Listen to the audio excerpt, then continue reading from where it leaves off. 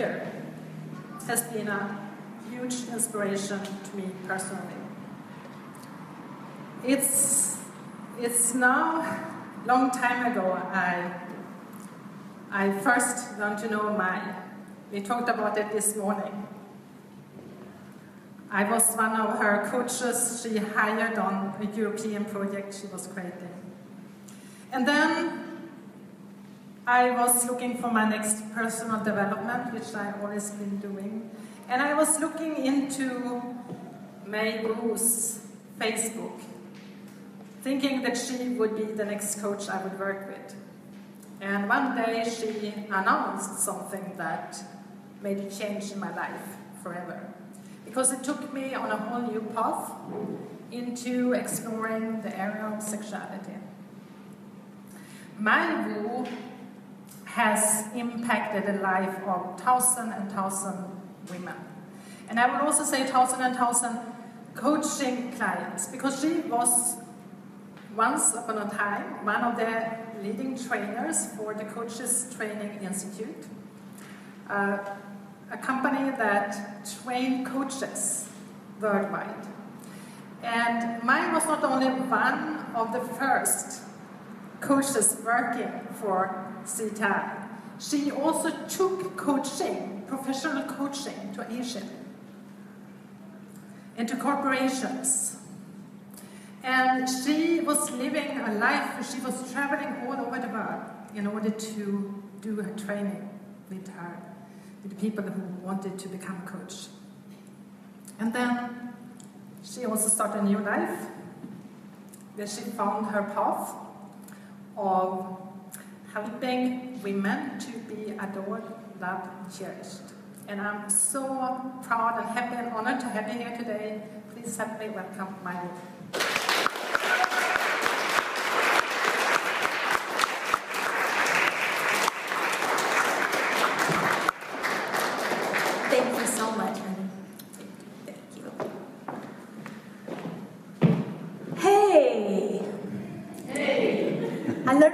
this morning. Three of, three of it. Close. Three of it. Nice to meet you. Close. Okay, good enough.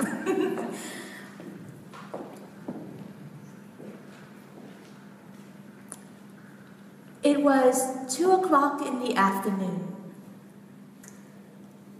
Everything was quiet. The sun was beating down the heat of the day the cat lie down and slept on the front porch of the beach hut. Even the birds stopped flying and they just stayed together, staying out of the heat and just quiet down for the afternoon. Everything was quiet except for her. She was kicking and screaming and yelling and punching and crying in the water, slamming out there by herself. No one was watching. She's finally able to cry and yell out, Why? Why did this happen to me?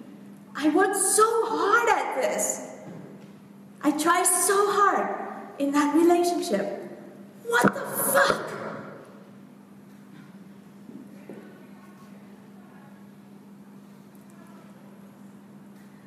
Just like Elizabeth Gilbert, the author of Eat, Pray, Love, and thousands of other American women and Swedish women who either wanted to go to Bali or did go to Bali just to run away to try to find the answer to what was happening to their life. That woman was me. I stood there in the middle of that afternoon, wondering what the hell happened to my life? Why did I work so hard and try so hard, only so that my marriage of 18 years to completely fell apart? Me, left behind with a four year old daughter. What are we supposed to be doing now? And why isn't anything working? Like Maria said, I was flying around the world, training coaches, doing big things, but my life completely fell apart. What happened? Worse, I was petrified. I was so scared. I was scared whether I'm gonna ever find love again. I married a really nice guy, and we worked really hard in this relationship to make it work. But after 18 years, it completely fell apart. We were numb to each other, and we were stalled out. So I had to ask the big question what am I doing all this for? And is there a better way? And am I going to get myself out of this mess? Does anyone relate to this story at all? Just a little oh, good. I'm in the right place, right? Yeah. This is why I'm so passionate about what I do now. I work with strong, powerful, smart women who do everything, who's capable, and yet when it comes to love, they're not satisfied. They don't have the love that they want. And when it comes to money and success, they keep working harder and harder, investing more and more, and yet they're not seeing the result that they want. Have you ever wondered that question? It's like, how much more of this do you have to do to get there? Yeah, I did too.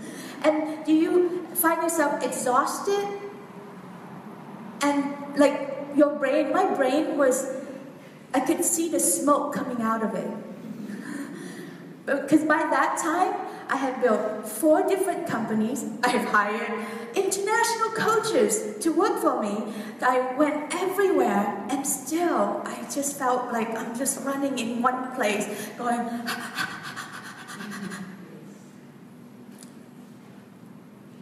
so, this is what I get to do now: is I get to help strong, powerful women like me to have the love and the money and the success that they want.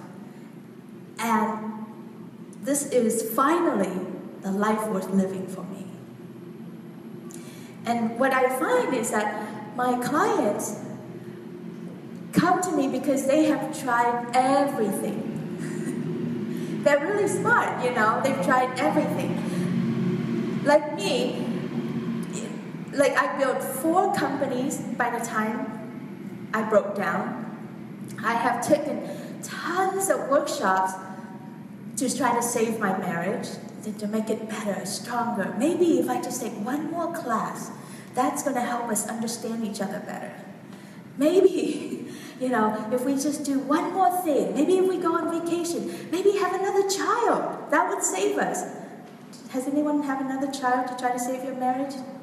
That's a bad idea. Don't do that. Luckily, I didn't do that. So, I have found some answer, and that's why I flew all the way from California to be here to share with you. There is something that after 20 years of doing this work and working with, like Maria said, clients, thousands of clients, I've put in over 25,000 hours of working one on one with women around the world. And from that, those hours, I discovered a few very important, universal, common things that women do that really wreck our love, our success, and our money. Would you like to find out?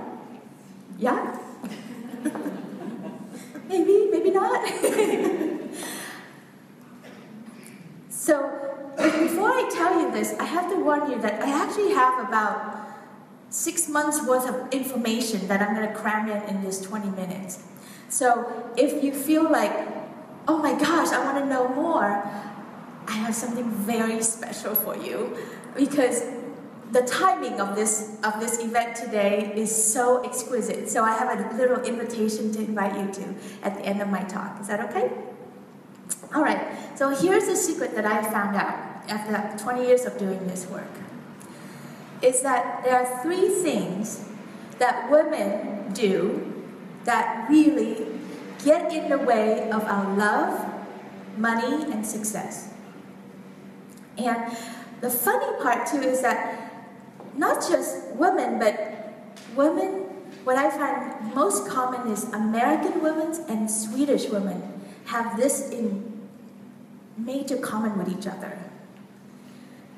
And I find that as I flew over here, I always have a funny thought in my head. I'm like, who am I to be called to Sweden to be of service? You know, like, what do I know? Because I was born in Vietnam. I'm not even American, but I was, because of life circumstances, I end up immigrating to America. And I spent the last 40 years studying American culture from the outsider. And I work with just white American women most of the time. And then about five years ago, Maria was turning 50, and she Skyped me and she said, Hey, I'm turning 50 and I want to spend it with my favorite people, and you're one of them. Will you come?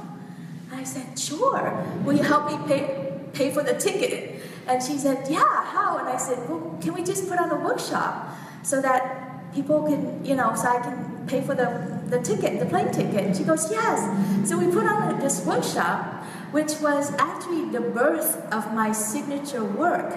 I had this concept inside me, but I haven't tried it out yet. But because of her birthday, I flew over and I said, let's do a workshop in Sweden and see if it resonated. We did it. And the 12 people that was in the class, one of them is actually Anna too, right? You were there too. Yeah, so we had and they loved it and they said, Mai, could you please develop it some more and bring it, bring it to us some more? And so Sweden is actually the birthplace of my signature work. So I owe Maria and I owe Swedish woman such love and gratitude for you know helping me bring this work into the world. And it's so strange and, and yet so beautiful as I keep learning how to do this and seeing how it fits so well for my Swedish clients. So, the three things that Swedish women and American women do that really impacted your love life and your money and your success is this. First one is you think you have to be the one who do everything. Yes, anyone feel that way? Yay, ding ding, seeking the right path. You think that you are responsible for everything. Yeah? And so you work really hard at it. And you really want to work hard at it because you love your world so much. And you would have been told that if you just work harder, you'll get what you want. Yes? And I think you even have a cultural code the Jante code that said, work hard, put your head down, don't be too much, be humble, keep going, don't speak up, don't rock the boat, right? Of course not. When you're a Viking boat, you know, you don't want to rock the boat because you fall over, right? So, so stay still and then keep going and you'll get what you want. And what are you finding out? You're not getting what you want and you're exhausted and you're like, what the fuck? Why am I so tired? So that's number one. And then the second thing is deep down inside, you'll run with this guilt and fear that you're not good enough, that you haven't done enough. Yes? Sound familiar to anyone? Feel free to go, that's me! Let's see, who, who relate to that? That's me! Yep, I'm proud. Yeah. So you're fun by guilt. So it doesn't matter how many degrees, how smart you are, how much you work, you just keep feeling like I'm not good enough, I'm not good enough. If I just be a little bit better, then they'll like me more, and then he'll date me, or blah blah blah blah blah blah, or I'll get the better job. Yeah? And yet all you end up is more work, more exhaustion, and more loneliness. Yeah? So this is like the great lie that has been floating around the world, especially, especially in first world countries, to us women It's so fascinating. As if that's not enough, the third thing that you do that just sync everything is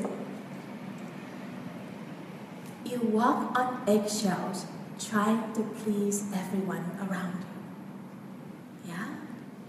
You walk on eggshells trying to not upset anybody, trying to make sure that, you know, the neighbors think nicely of you, that if your mom, you know, your mom is happy for you, you know, you try to so first you try to please, then you run by guilt and, and fear that you're not good enough, and then you're walking on eggshell trying to not upset everything.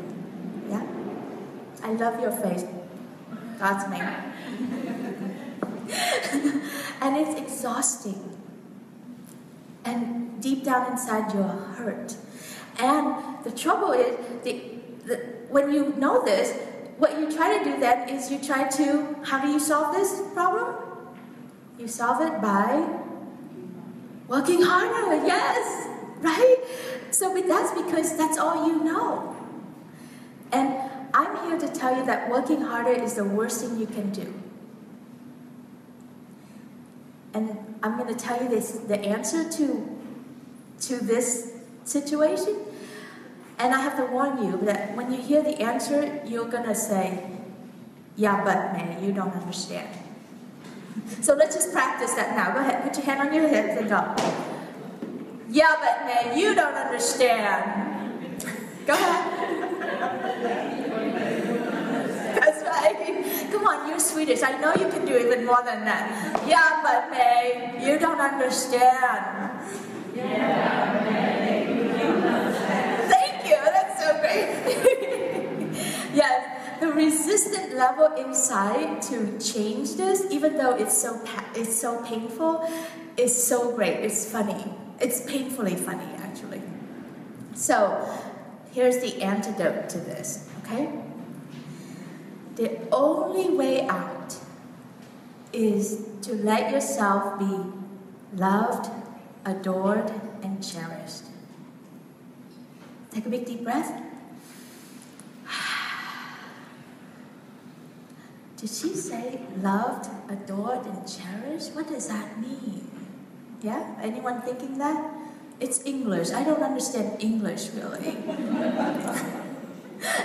but actually, people around, Americans have a hard time understanding what is love, adored, and cherished. So if this is not an English issue. This is a, a self worth issue. Okay? So, who here knows what to be loved means? to be loved, just to be loved. Yeah? Right? That's easy. I know how to be loved, yeah. And I know for myself, like when I was married to my husband, to my ex husband, I was loved. He really did love me. He was very loyal. You know, he came home from work on time, he helped me with the baby, and he cooks and cleans with me, and blah, blah, blah. He loved me, and I loved him. But to be adored, what the heck is that? And then to be cherished? What is that? Yeah? So, to be adored. Like, can you just turn to your neighbor and say, I adore you? Try it. see, look at what happened to them. Did you see them? They just kind of lit up like, really? Wait, did anyone do for you? No? Okay, can somebody do for him? Look, now let's look at him and say, I adore you. Oh, you just blocked it. I can see you. look, he's turning all red. Right? So to is just like, it's safe. It's love. We, we, that's okay. But to be adored, it's like, whoa, did you just say that? Oh my God. Right? And then to be cherished, it's like, oh, what is that? To be cherished. And I looked up the definition of to be cherished. You know what that means? One definition it means to be worshipped. like, no way. You know, okay, I, I say that for love, maybe adoration, but cherish? No way. That's too much. Yeah. So, the reason why this is so important is that oh my gosh, if you're not loved, adored, and cherished, and you keep trying to accomplish everything that you do, by hard work, all you do is end up exhausting yourself. I did a little research um, two years ago, and I wrote an article on Are the Swedish women in danger of extinction? Is the Swedish woman in danger of extinction? And in that article, I talked about how you know in the in the the animal kingdom, if the female if the female is weak, she can't have babies, she can't take care of the babies, and then the species will die out. That's how a species goes extinguished. And what I've been noticing from my clients that have work, come to work with me is that about 40% of them have, are on antidepressant, some kind of exhaustion, brain exhaustion, or physical exhaustion, and that there's a lot of. I was gonna say there was a lot of silent suffering, but it's that loud. Thank you, universe. It- it's that loud, and yet we all suffer inside and pretend like it's all good. Like, hi, you know, I'm Mai. Gia Vector, oh, I can't say that word. Nice to meet you, you know, and we pretend like it's all good, but deep inside it's like that loud motorcycle going, ah, I'm dying here. I need help, but I don't know how to ask for it. I need something different than what I'm having. So, does that mean my time is up, or does that mean I still have five minutes? I have one minute. Okay, great. Perfect. That's all I need. So, what I love, if this message resonate with you and you'd like to learn more on how to be uh, loved, adored, and cherished, I actually gonna have an event here on October 1st and 2nd. So, oh, a little less than a month from now, right here in this space. Yeah, and I'd love for you to come. It's two days, Saturday and Sunday, and I'm going to spell out exactly the roadmap, what you've done that got you here, and how to undo this pattern so that you can let yourself be loved, adored, and cherished. And usually I charge 950 Swedish krona for it, but today, since we're here and you are the guest of Maria, I'd like to offer you a very great special. Is that okay? Yes. So if you sign up today only, then it's 750 Swedish krona. So you save 250. This includes lunches, by the way, Saturday and Sunday lunch. If you sign up by yourself, it's 750. But if you want to bring a friend with you, then two tickets for a thousand. So it'd be just 500 each. Does that sound like a great gift? Yes. So I would love to have you at my event on August 1st and 2nd so that we can really help you undo this so that you can have the love and the money and the success that you really want.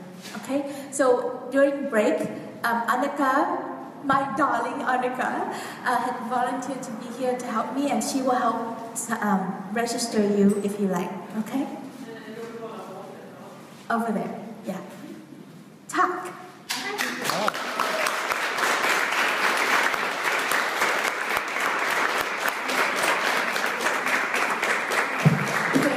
Thank you, darling.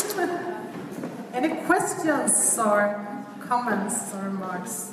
I have time for that.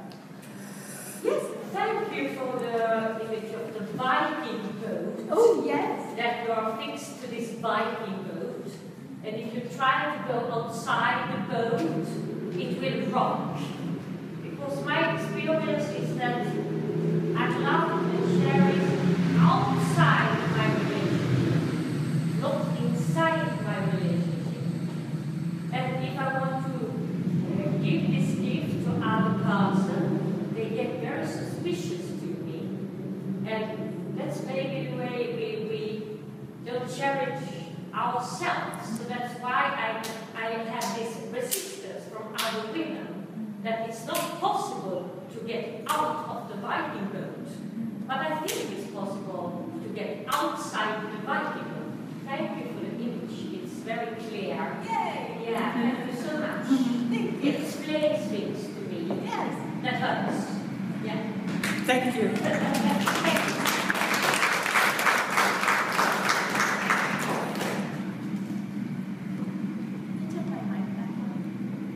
I just have a question about um, if how do you do in order to receive so that you feel worthy of receiving? I find that it's much easier to give and give and give, but I've noticed in the past one year that my issue is in receiving, and because um, I'm some kind of blocking myself from Yeah. receiving.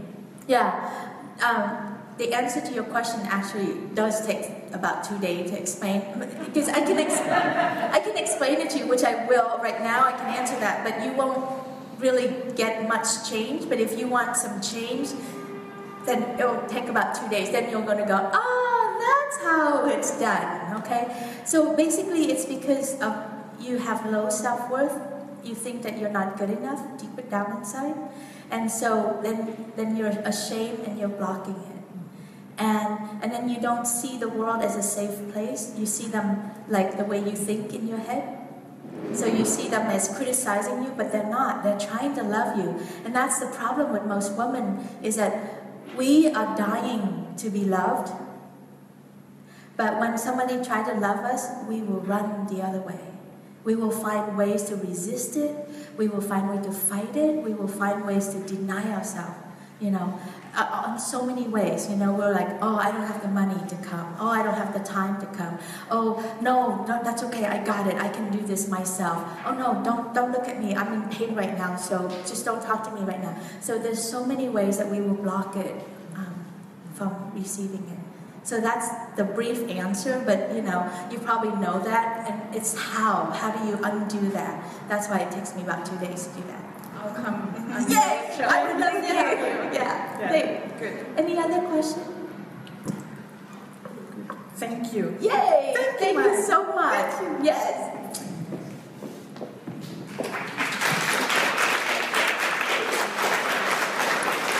It's, it's wonderful to I wish I could do a hear selfie with you guys, but my speaking, right? It's very inspirational. And I'm going to continue in Swedish now. Ett annat ord för att inte känna sig god nog, det är feeling like a fraud. Och jag minns en gång för många, många år sedan när jag var doktorand på sociologen i Umeå